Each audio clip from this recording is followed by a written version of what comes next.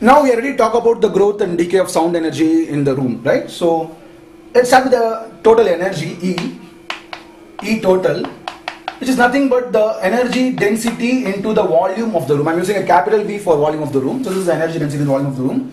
So the change in this energy with respect to time, which will be E dE total divided by dt, will be V into dE by dt plus E dV by dt.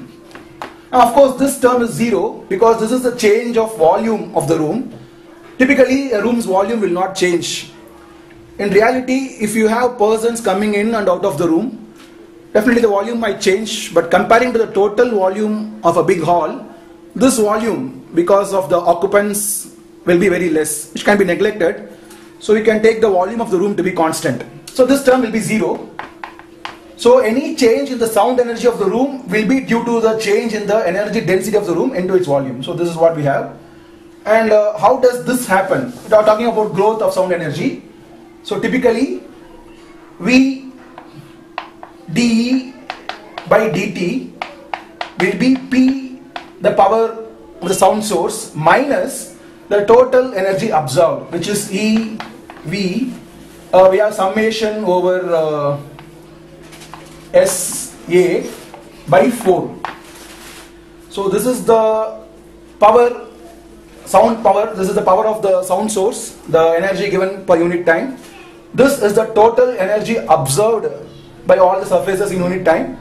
The difference will result in the increase in the time, increase in the energy. So I can uh, divide this equation by V.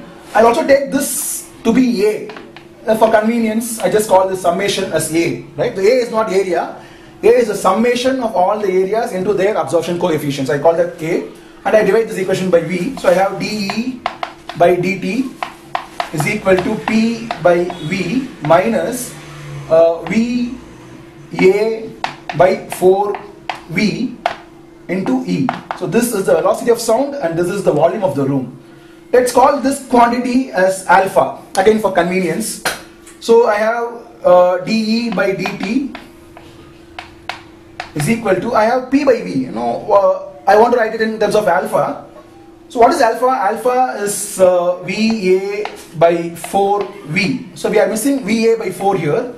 So we'll multiply and divide by VA by 4.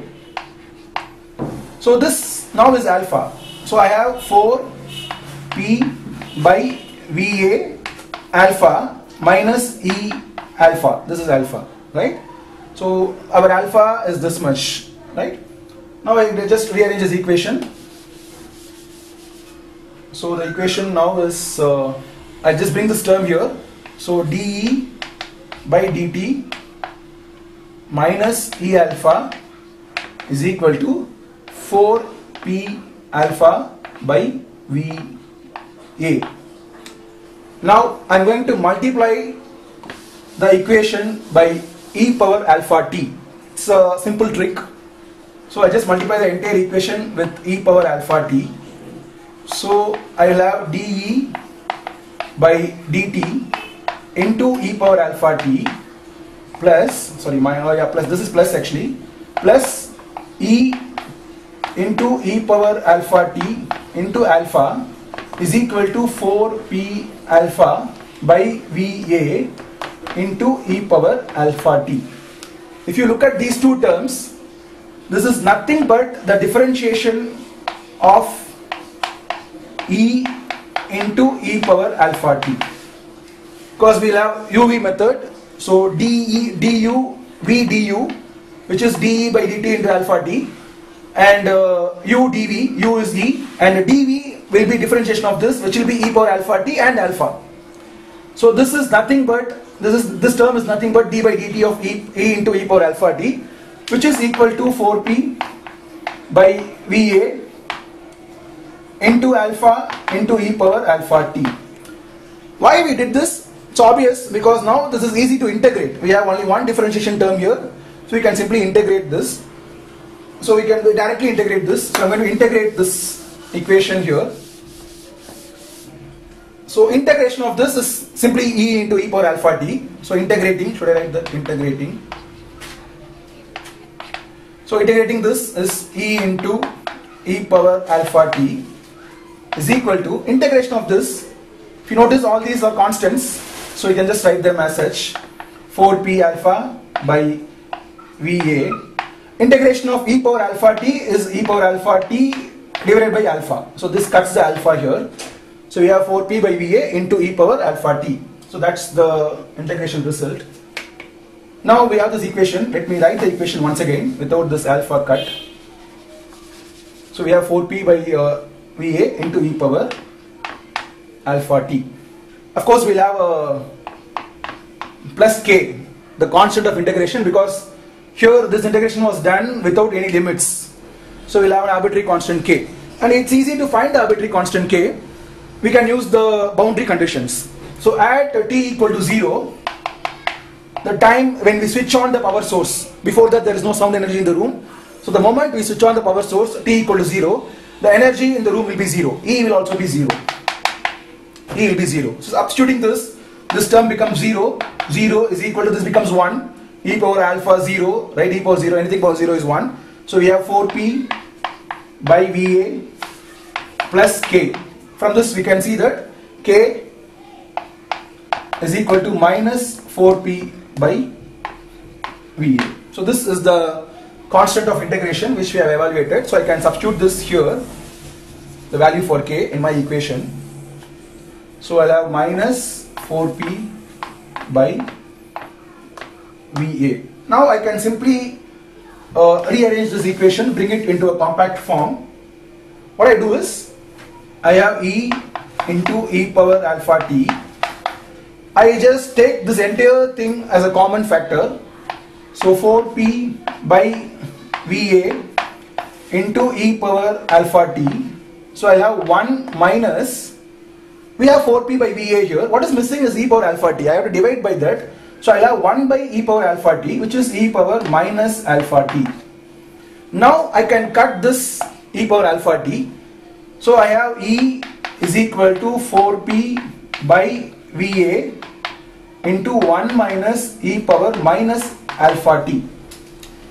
So this is the growth equation, how the energy density of the room increases with time. Initially when uh, the time is 0, energy will also be 0. Well, you can see here, because when you put t equal to 0 here, e power 0 is 1, 1 minus 1 becomes 0, so the energy becomes 0. If you allow time to go to infinity, when t reaches infinity, we have e power minus infinity, which is 0. So we will have e equal to, so when t reaches infinity, I should be putting t tends to infinity, doesn't matter. e will become 4p by Va. So when time goes to infinity, the energy will be 4p by Va, where p is the power, uh, power of the source, V is the velocity of sound, and A is the total absorption in the room, right? If you remember the summation. So this is the maximum energy in the room. This is the maximum it can have because sound energy is increasing, and this is the value at t equal to infinity. So this is the maximum sound energy. I can call this as Em, maximum energy. So then my equation becomes uh, E as a function of t, right? E of t as a function of t is equal to E maximum into 1 minus e power minus alpha t. This is called as the growth equation. This tells us how sound energy grow. So this is the growth of sound. Sound energy, of course.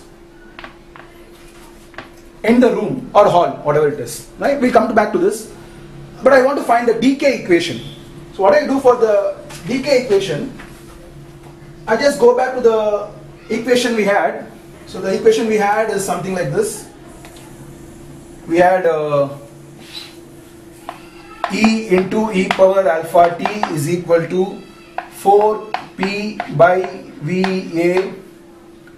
e power alpha t and uh, k is of course minus 4p by Va. This k is a constant, right? K is a constant integration. So when you put actually I can take the value of k right the absolute value of k so I'll put a plus here so when you put uh, t equal to uh, sorry when you put p equal to 0 no I have maximum sound energy here. I'm talking about, I'm going to talk about the decay of sound. So initially I have maximum sound energy in the room. Now if I switch off the power source, if I switch off the power here, right, then this term becomes zero. The first term becomes zero. Then I will have E into E power alpha T is equal to this much.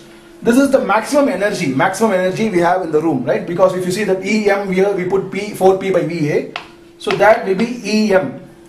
And what is E from this one? So this one, from this one, we can see that E is equal to, I just bring this term to that side, it becomes EM E power minus alpha T. This is the decay equation. So it tells us how the sound decay so this is the decay equation. You can see that if you have uh, t equal to 0, if you put t equal to 0 in this one, initial time, that moment we switch off the power source, e power 0 is 1, so e becomes em. So the moment we switch off the power source, we are having maximum sound energy in the room. If you allow t to go to infinity, we'll have e power minus infinity, which is 0, energy tends to zero. So it tells us the energy is decaying, decreasing as the time goes towards infinity. So this is called as the decay equation. So when you have the power source, the energy increases according to this equation, will reach saturation value of EM and when you cut off the power source, the energy will decay according to this equation. We can try to plot them as a graph. So what will, what will these equations uh, mean? let's uh, try to represent them pictorially. So I take this as my time axis, this as the energy density in the room. Somewhere here is my uh, maximum energy, Emax, which is 4P by VA. So this Emax is here. So here at t equal to 0, I switch on the power source. The power source is switched on. So energy rises exponentially rapidly and uh, tends to go to this maximum value at t equal to infinity. So this is how the energy grows. So this is the growth of sound energy in the room. And somewhere after a long time we'll have maximum energy. At that point if I cut off the source, I'm switching off the source. From that point the energy decays exponentially. It will reach zero at infinity. So this is the decay of energy. Now we'll go back to the original thing we started, which is the reverberation time t. Reverberation time t, by our definition, is the time taken for the energy to fall from its maximum value to one millionth of its value. Let's say this is the one millionth value, right? This is E m by uh, 10 power 6, the one millionth of the energy maximum. So this is here, right? So this time from the maximum energy, when the energy is decaying, to reach 1 millionth of the time. So this time here is capital T. This is the reverberation time. The time taken for the sound energy to reach decay from maximum to 1 millionth. And uh, this will correspond in decibels to 60 decibels, a drop of 60 decibels. So we use the formula and uh, evaluate